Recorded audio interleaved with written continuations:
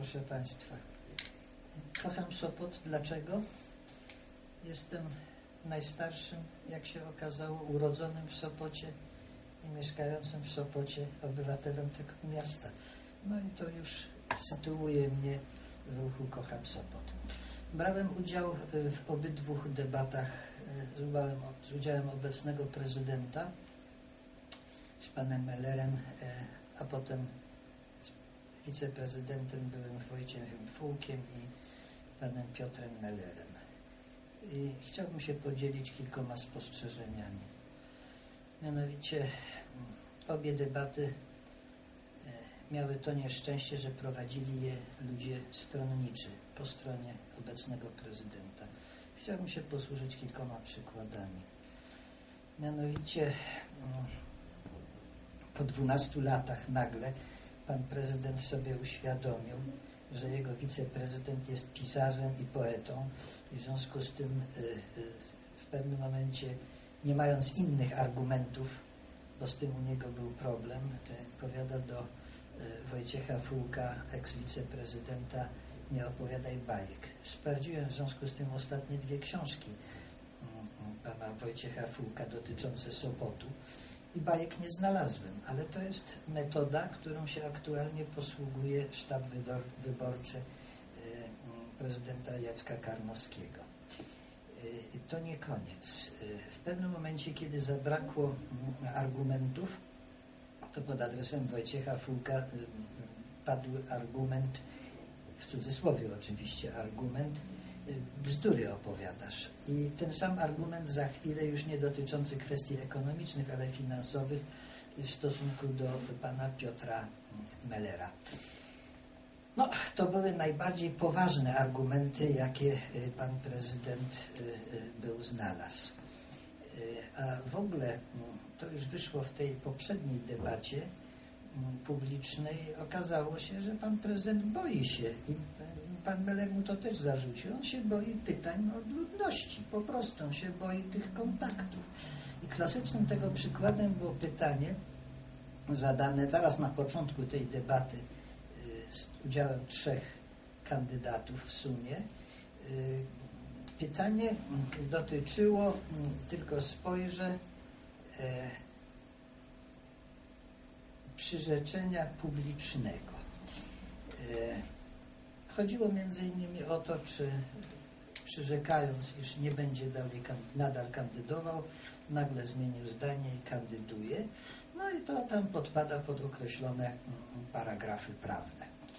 Na to e, pan prezydent Karnowski pada, proszę pana, pan nie jest prawnikiem, a więc e, próbował zdyskwalifikować pytającego, Y, niech Pan sobie poczyta odpowiednie książki prawnicze, a w ogóle to pytanie Panu na pewno przygotowali ludzie ze sztabu Kocham Sopot. To jest pomówienie.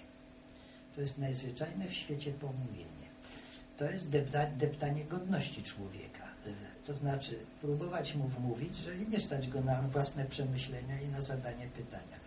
No, jeżeli tak e, funkcjonuje prezydent w stosunku do swoich współpracowników, nie wiem jak on się na sesjach Rady Miasta zachowuje, jeżeli to mają być argumenty, no to proszę wybaczyć, to nie jest, to chyba nie najlepiej, nie najlepiej o tym e, e, o praktyce postępowania świadczy.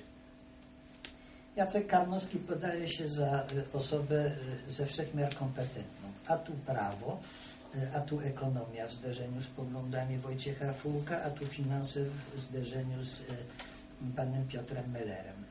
No, kuriozalność tej postawy, nieomylnej przecież, bo pan prezydent jest nieomylny, polegała na tym, że jeden z niezaproszonych do publicznej debaty kandydatów na urząd prezydenta wręczył mu własną książkę, e, żeby się pan prezydent podkształcił E, żeby się dokształcił e, właśnie w kwestiach e, marketingowych.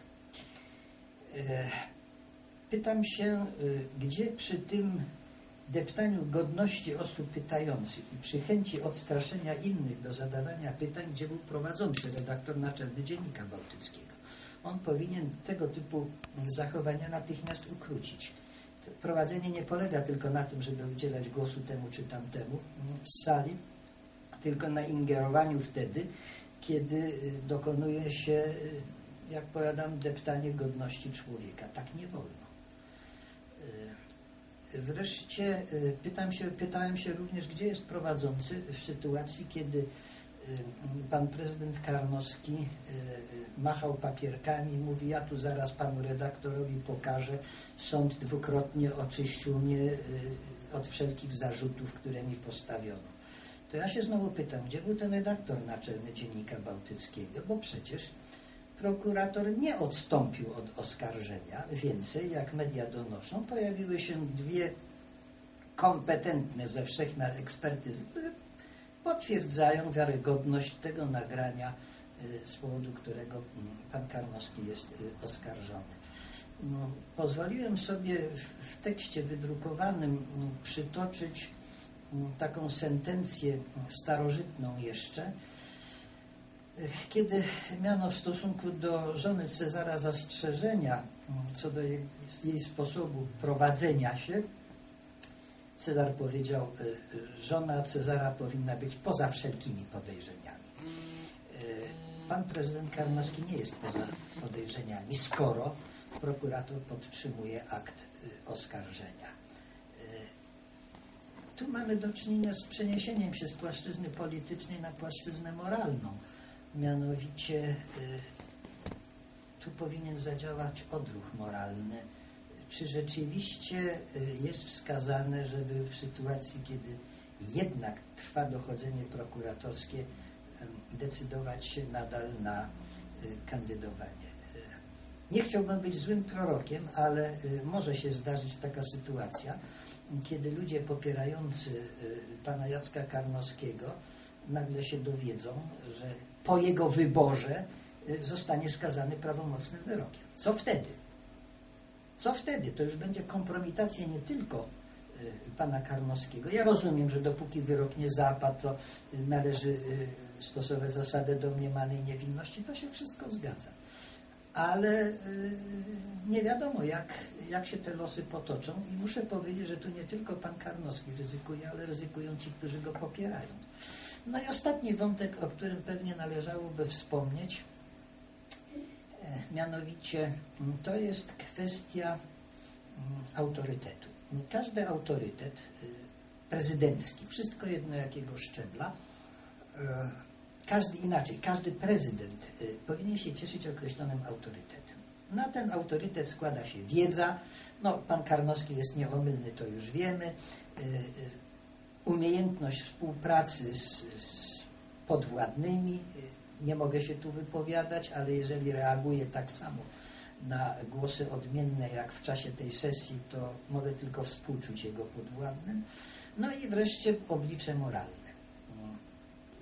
No tu sprawa jest banalnie prosta. Jeżeli się z- zestawi e, wzorowe życie rodzinne e, kontrkandydata Wojciecha Fułka z mm, nawet nie wiem jak to nazwać, wątpliwym rodzinnie czy wielorodzinnie e, mm, zachowaniem prezydenta Jacka Karnowskiego, nie wiem jak to w szczegółach wygląda, to mnie nie interesuje, to ja nie wiem, czy on tu może uchodzić za wzorzec moralny godny naśladowania. Zwłaszcza e, w mieście, w którym jest 8 czy 9 kościołów o charakterze chrześcijańskim i mamy tych chrześcijan, którzy e, określone wzorce moralne uznają za e, normalne i usprawiedliwione. Cześć pracy. No co Dziękuję pani jeszcze bardzo. chce? Pan powiedział, że pan kocha Sopot. No co pani jeszcze chce? Aha, mogę dokończyć jeszcze jedno Tak? zdanie. Dobra, to już Tak. momencik jeszcze. Mhm. Mogę? Tak.